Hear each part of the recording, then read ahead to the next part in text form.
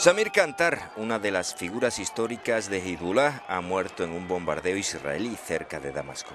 El anuncio lo ha hecho público la organización libanesa. Kantar, que ya había sido dado por muerto el pasado mes de julio, se encontraba en un edificio residencial de Jaramana, en el extrarradio de la capital siria. De origen druso, Samir Kantar fue condenado a cadena perpetua en Israel en 1980. En 2008 recuperó la libertad en un intercambio de prisioneros.